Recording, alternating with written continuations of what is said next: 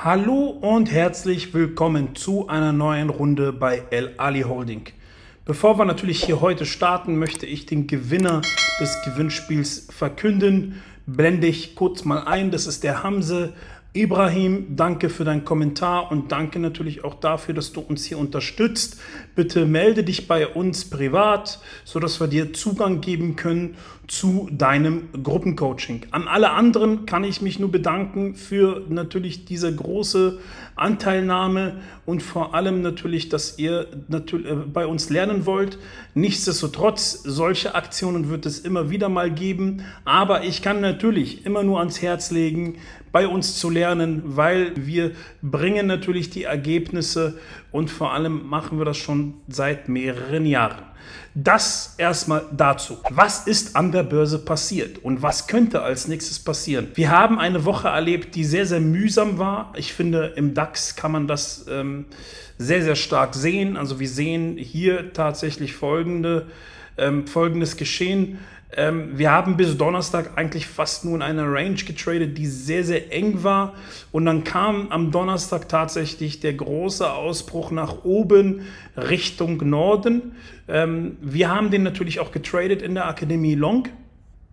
Das hat bestimmte Gründe, auf die ich noch zu sprechen kommen werde in den nächsten Videos. Nichtsdestotrotz ist es immer noch so, dass wir in einem Abwärtstrend sind. Warum ich daran festhalte, dass wir in einem Abwärtstrend oder in einem Abwärtstrend sind, liegt an mehreren Faktoren. Wir können, wie ich bereits letzte Woche nämlich gesagt habe, immer noch einen extrem schwächelnden Goldpreis sehen. Ja? Ähm, wir befinden uns aber an markanten Stellen. Ich hatte das, wie gesagt, letzte Woche schon gesagt. Wir befinden uns an markanten Stellen. Wir befinden uns nämlich in mehreren Bereichen, nicht nur im Goldpreis, befinden wir uns an, diese, an der sogenannten Golden Zone. Ja, das heißt am, zwischen dem 61er und 78er Retracement. Dieses ja, oder dieses Phänomen haben wir nicht nur im Gold, sondern dieses Phänomen haben wir jetzt ähm, bei mehreren, ja, bei mehreren ähm, Instrumenten. Das haben wir natürlich auch hier tatsächlich im sogenannten Nasdaq. Ja, das ist der Grund, warum wir hier unten nochmal long eingestiegen sind und damit ziemlich guten Erfolg hatten. Ja, also wir sind hier unten nochmal reingekommen in der Akademie Long.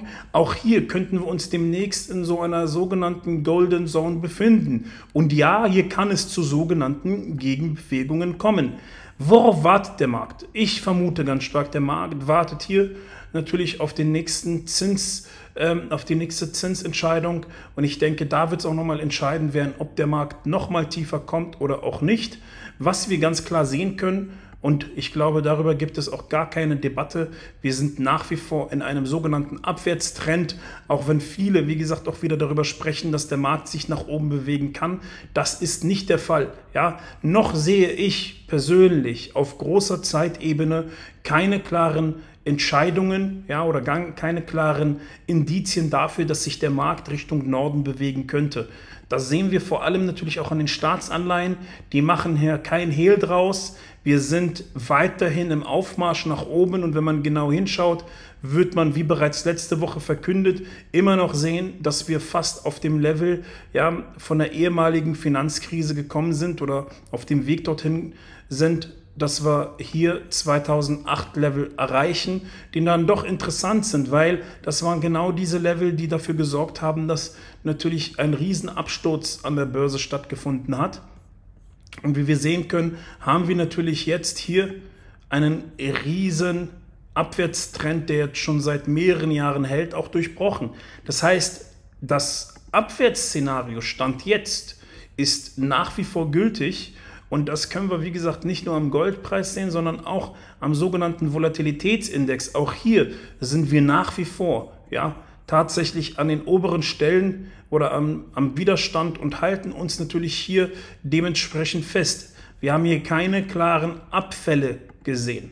Ja, im Gegenteil, sondern der Markt hält sich ziemlich stabil ähm, und das kann doch dafür sorgen, dass wir nochmals Richtung Süden gehen. Wir müssen natürlich nichtsdestotrotz aufpassen. Im Bitcoin ähnliches Szenario. Auch da haben wir kommuniziert in unserer Signalgruppe beziehungsweise in unserer Akademie kommuniziert. Achtung, hier gibt es nochmal die Möglichkeit, womöglich short zu gehen. Wir sind auch hier reingekommen Ja, dann kam er natürlich noch mal ein bisschen nach unten und auch hier immer noch kein klares Bild. Was will ich eigentlich damit vermitteln? Ich möchte damit vermitteln, wenn wir genau hinschauen, werden wir feststellen, dass wir immer noch in so einer sogenannten Limbo-Zone sind. Aber, jetzt kommt das große Aber, wir sehen bestimmte Währungspaare, die in Korrelation stehen mit den Märkten und die für fallende Indizes stehen, scheinen sich immer mehr zu stabilisieren. Auch hier im Euro-AOD ganz klar zu sehen. Der Euro-AOD ist ein klarer Indikator dafür, dass es womöglich an den Märkten weiter Richtung Süden gehen kann. Nichtsdestotrotz müssen wir immer wieder Level beachten, die doch eine gewisse Relevanz haben. Und dafür empfehle ich jedem einfach mal, wie gesagt, das sogenannte Fibonacci ja, Retracement anzusetzen und selber mal zu gucken, was Sache ist, weil auch hier im DAX sehen wir ganz klar großer Turnaround Point, ja, direkt an der goldenen Zone. Solange diese goldene Zone hält, sehe ich erstmal keine Gefahr für neue Tiefs. Wir könnten uns aber hier erstmal aufhalten. Das heißt, dieser gesamte Bereich wird womöglich interessant werden können in den nächsten paar Tagen. Ist eine Range von 500 Punkten ist natürlich nicht zu unterschätzen, aber das sind genau die Bereiche, die interessant sein könnten, um vielleicht den einen oder anderen Einstieg zu tätigen. Aufgrund der Tatsache, dass wir momentan in dieser engen Range sind und nicht sagen können, in welche Richtung der Markt ausbrechen könnte, würde ich Folgendes tun, an die Seitenlinie gehen, vorerst und warten, in welche Richtung der Markt ausbricht, um dann äh, schließlich einsteigen zu können. Wir werden die Tage auf jeden Fall nochmal ein Update-Video machen, sobald wir klar sehen können, in welche Richtung es geht. Wir wünschen euch alles Gute. Bis dahin.